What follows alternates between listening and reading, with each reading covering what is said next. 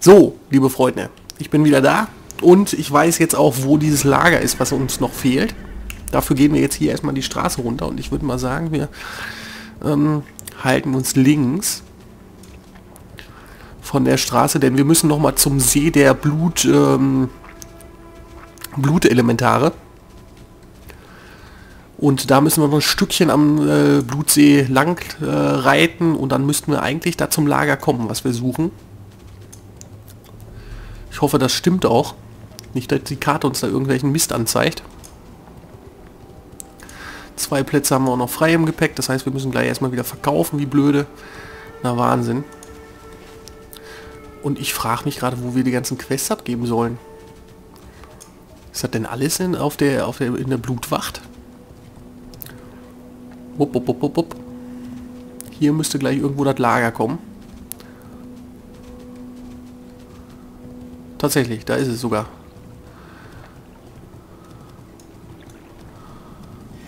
Wahnsinn. Toll, nix da. Keine Quest, kein gar nichts. Äh, und auf der Karte war im Grunde, im Grunde war da alles erkundet gewesen. Okay, jetzt haben wir da noch das Lager gesehen, okay. Das ist aber auch ganz schön fies versteckt gewesen. Na gut. Was soll's, wir können auf jeden Fall zur Blutwacht und dort die letzten Quests abgeben.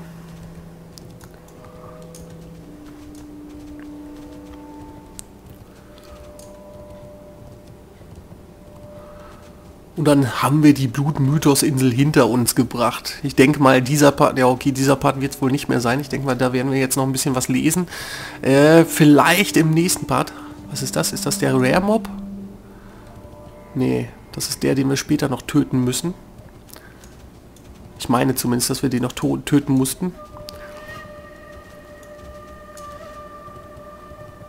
Weil früher war das auf jeden Fall irgendwie ein Rare Mob gewesen oder ein Elite den man da äh, erschlagen musste, um noch irgendwie an weitere Informationen der Blutelfen zu kommen. Und äh, wenn es hier auf der Insel ein Bank, eine Bank geben würde, würde ich auch mal äh, Sachen auf die Bank legen. Wobei, da haben wir eh keinen Platz mehr. Da haben wir ja eh keinen Platz mehr, das ist ja nicht gut. Nee, nee, das ist nicht gut. Aber wir könnten vielleicht, bevor wir dann nah zur Dunkelküste aufbrechen, da könnten wir vielleicht noch mal eben in die Stadt gehen unsere Schneiderei ein bisschen weiterführen. Wie schaut es jetzt eigentlich mit Verzauberkunst aus? Das hat mich, würde mich mal interessieren. Oh, haben wir doch schon so viele Sachen entzaubert, dass wir schon auf 59 Verzauberkunst kommen. Nicht schlecht.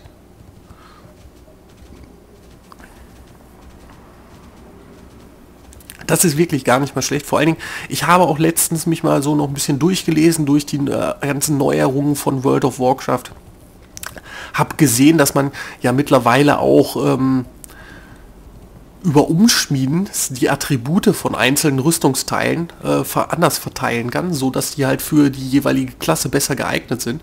Und dann gibt es glaube ich noch Transmogrification heißt das. Da kann man dann Sachen, also äh, Aussehen von Sachen dahingehend verändern.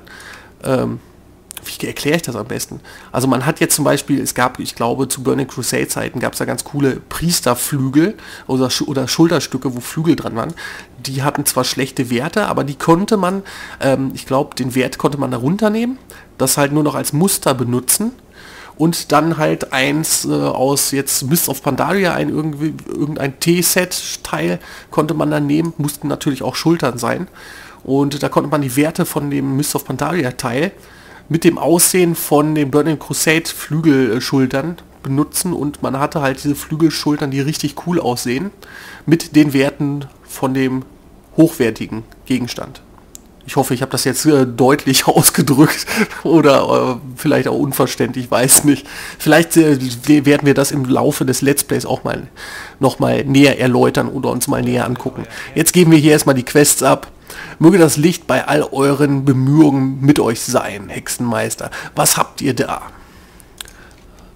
Hm, das ist äußerst faszinierend. Ja, ich sollte in der Lage sein, die eigentlichen Einträge des Schreibens in diesem Buch entziffern zu können. Ich verfüge über die benötigten Mittel hier. Es sollte nur einen Augenblick dauern. Ah ja, das ist dieses Tagebuch, was wir gefunden haben. Das wird er uns jetzt erstmal entschlüsseln. Und dann müssen wir den Schatz noch weiter suchen.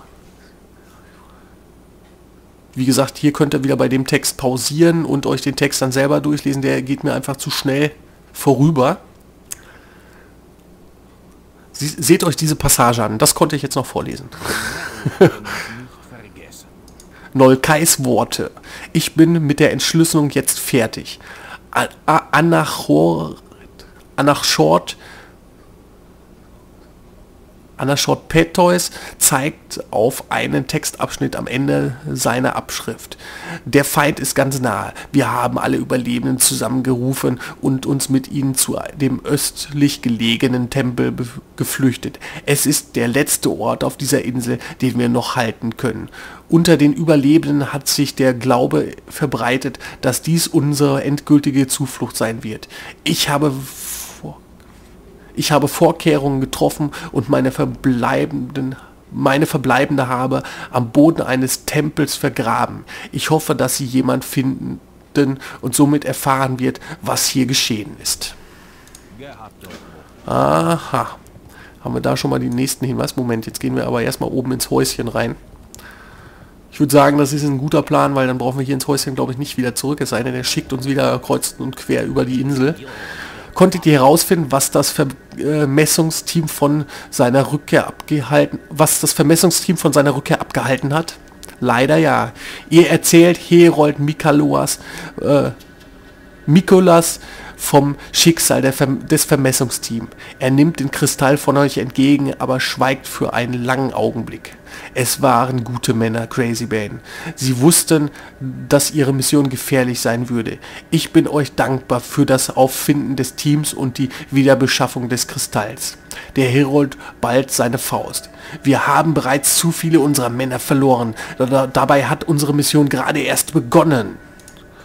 Quest, ja, ich hab's befürchtet, da gibt er mir wieder Neues. Oh nein. Oh Mann. Die zweite Probe. Da wir nun einen Kristall als gleich, äh, Vergleichsgrundlage haben, benötigen wir jetzt Proben von gefährlichen Gegenden. Was benötigen wir jetzt Proben von gefährlicheren Gegenden der Insel, um das Set zu vervollständigen und äh, zu vervollständigen. Das ist zur Ex, dass ich zur Exoba da gesendet, dass ich zur Exoda senden möchte. Meine Fresse, was ist denn jetzt gerade los? Moment hier. Wach werden. So. die nächste Probe muss von den Kristallen kommen, die von den Blutelfen in der Umgebung des Messerwinkels nordwestlich der Blutwacht kontrolliert werden. Berichten zufolge verändern und ent was verändern und ernten sie die Kristalle, um sie in eine Art magische Apparatur zu verwenden. Versucht einen Kristall zu finden, der noch nicht in eines dieser Geräte eingebaut wurde und entnehmt eine Probe davon. Ach ja, stimmt, jetzt dürfen wir ja erst noch Kristalle, Kristallproben sammeln und sowas alles. Also wir kommen hier doch wohl noch nicht ganz so schnell runter, wie ich das vorhin angekündigt habe. Also ich denke mal, wir werden den nächsten Part auch noch auf dieser Insel hier verbringen. So, was haben wir denn hier? Schon zurück? Konntet ihr das Schreiben finden? Aber sicher. Verteidiger Boros beachtet das Dokument. Das ist... Was? Das ist Talasisch. Glücklicherweise kenne ich eine Person, die es übersetzen kann. Äh, Übersetzungen. Unsere hochrangigste, unsere hochrangigste Vernehmungsbeauftragte Elysia bricht... Fri äh, Moment. Unsere hochrangigste Vernehmungsbeauftragte Elysia spricht fließend Talasisch. Bringt ihr dieses Dokument, mal sehen, was sie dazu zu sagen hat. Ne, die nehme ich nicht an. Das ist eine tägliche Quest, die möchte ich nicht. Die möchte ich nicht annehmen. Da haben wir Talesia. Die sieht aus wie meine damalige Angels Dust, meine Magierin. Ich habe hier etwas viel zu tun. Ich habe hier etwas viel zu tun, Agent Crazy Bane. Ich hoffe, eure, euer Anliegen ist wichtig. Elysia liest das Dokument. Wenn wirklich stimmt, was hier steht, dann haben die Blutelfen ein Portal zur Scherbenwelt geöffnet. Das würde auch ihre schier endlose Zahl erklären. Äh, Audienz beim Propheten. Ihr müsst das übersetzte Dokument wählen, persönlich überbringen, Crazy Bane. Ich vertraue diesem verstörten Boten nicht. Erklärt dem Propheten, dass die Blutelfen Verstärkung aus der Scherbenwelt erhalten und dass sie einen Spion unter den Drenai bei der Exoda haben. Wählen hält sich in den Hallen des Lichts in der Exoda auf. Beeilt euch. Na, ich bin ja begeistert. Jetzt dürfen wir auch noch zur Exoda oder was? Entschuldigung, da hat die Stimme gerade mal kurz versagt. Ach ja, gut, dann müssen wir auch gleich nochmal zur Exoda. Ist ja Wahnsinn. Schon wieder zurück. Ich hoffe, diese Aufgabe hat nicht zu viel von euch abverlangt. Ihr habt erneut bewiesen, dass ihr ein fähiger und aufmerksamer Worgen seid. Habt meinen Dank und natürlich ein kleines Ab eine kleine Abfindung. Ja, nehmen wir auch an. Dankeschön. Der gibt uns nichts Neues mehr, das finde ich schön. Was haben wir hier? Achso. Äh, es äh, gilt jetzt eine längerfristige, es gilt jetzt eine längerfristige Lösung zu finden, um die Arten wieder in ihren Ur Urzustand zurückzuführen. Momentan ist das Zeit was zeitweilige Ausmerzen ihrer Besta ihres Bestandes jedoch die beste Methode. Danke für eure Hilfe, Crazy Bane. Habe ich gern gemacht, weil dafür kriege ich auch gute Gegenstände. Moment, habe ich das gerade richtig gesehen? Wo ist der Gürtel? Ausdauer 3, Intelligenz 4. Ausdauer 3, Intelligenz 4 und 26. Krass, der Gürtel ist sogar besser wie den, den wir haben. Das ist ja gut, dass ich da nicht sofort äh, weggeschmissen habe. Oder nicht sofort entzaubert habe. Mann, Mann. So, dann haben wir hier noch eine. Äh, Verteidigerin Alessia scheint eher durch euch hindurch als auch euch anzusehen. Sie ist wohl voll und ganz mit dem Saturn beschäftigt. Seid ihr schon gegen den Anführer der Saturn vorgegangen? Aber klar, ohne ihren Anführer und die entwendeten Kristalle können wir die Saturn bedenkenlos in Schach halten. Nur das Licht weiß, wie viele dieser erbärmlichen Kreaturen da draußen noch lauern. Herold Mikola, Mikolas und ich sind euch für eure Hilfe sehr dankbar. Ihr habt uns geholfen, eine noch größere Bedrohung durch die Satyr abzuwenden. Euer Einsatz wird alle daran erinnern, dass Wachsamkeit der Schlüssel zum Erfolg ist, wenn es darum geht, gegen die Legion und ihre Diener vorzugehen. So, dann nehmen wir den Zauberstab mit. Super. So, und jetzt sieht es aus, als ob... Oh, viele Quests haben wir nicht. Und auf der rechten Seite, die Quests lüften sich. Schön. So, konntet ihr die Proben bekommen, die ich benötige? Aber klar, hier sind sie. Ich habe jetzt mehr als genug für meine Untersuchungen. Ich danke euch. Solltet ihr noch etwas anderes auftreiben können, was das beweist, dass die Kristalle die einheimischen Kreaturen der Blutmythosinsel beeinträchtigt, so lasst es mich sofort wissen. Hui, wie schön, wir haben das auch geschafft. Was haben, wir denn jetzt noch so an Quest? Da müssen wir noch mal hin und damit... Wo, wo haben wir denn den Rest der Quest? Ach du Scheiße, da hinten sind ja... Ach Gott, ach Gott, ach Gott, ach Gott. Ja, dann äh, würde ich sagen, gehen wir hier erstmal nochmal wieder verkaufen und ein bisschen reparieren. Äh, Moment, das brauchen wir noch. Dann müssen wir hier nochmal entzaubern. Das können wir auf die Bank legen. Die Blümchen... Ach komm, die Blümchen tun wir auch weg. Den Wein tun wir weg. Die Kristalle schmeißen wir sowieso weg. Den Gürtel können wir entzaubern. Das Ding können wir auch entzaubern. Das Axt weg. Die Blümchen weg.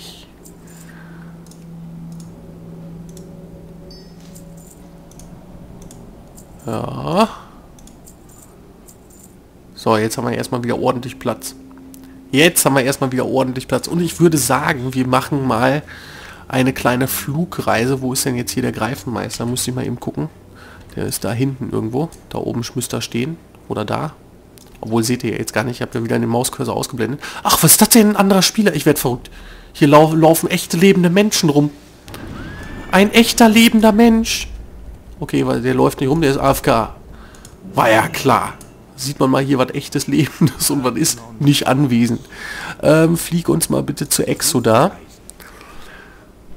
Und dann fliegen wir erst zu Exoda, geben dem ähm, Großmarschall oder wer das da sein soll, die eben die Nachricht von den Blutelfen und dann gehen wir mal weiter Richtung Steg, was ja auch noch deinem ersten Gebiet ist. Dann haben wir die zwei nämlich dann auch schon mal wieder abgehakt. Und dann sind wir bald durch. Dann sind wir hier bald durch. Ich gucke noch mal kurz bei Quests. 428 Quests haben wir schon gemacht. Das heißt, äh, ja, nächste Aufnahmesession werden wir es wahrscheinlich noch nicht schaffen. Übernächste haben wir dann die 500 Quests abgeschlossen. Ja, dann sieht das alles doch schon wieder ganz anders aus. Und sobald wir gelandet sind, werde ich den Part dann cutten. Und dann geht es in zwei Tagen mit dem nächsten Part für uns weiter. Also für mich geht es jetzt gleich schon weiter, für euch dann in zwei Tagen. Ich hoffe, ihr haltet so lange durch. Ich muss sagen, es macht mir echt Spaß, auch dafür, dass ich da jetzt schon über 125 Parts gebastelt habe und äh, produziert habe macht es mir echt immer noch tierisch viel Laune, dieses Spiel. Vor allen Dingen macht es mir mit euch auch viel mehr Laune, auch die ganzen alten Quests, beziehungsweise die Quests, die für unser Level schon gar nicht mehr eigentlich geeignet sind, noch zu machen. Wenn ich für mich alleine wäre, ich weiß nicht, ob ich das dann noch machen würde. Aber mit euch zusammen, auf jeden Fall.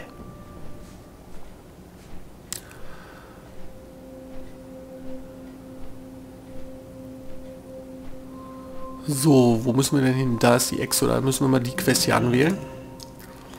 Dann zeigt er uns auch den richtigen Weg an. Heldenausruf haben wir da auch noch, da könnten wir eigentlich auch gleich mal drauf gucken. Aber hier jetzt eben den Cut für die nächste Folge und wir sehen uns dann in zwei Tagen wieder. Der Gürtel sieht ja scheiße aus.